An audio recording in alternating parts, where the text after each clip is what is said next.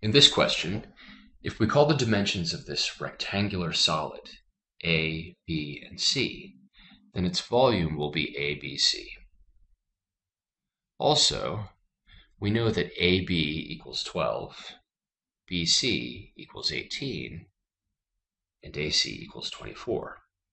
We could solve properly through substitution, but we could also directly get the values of these by looking at the factors. We can see that AB could equal 3 times 4, BC could equal 3 times 6, AC could equal 4 times 6.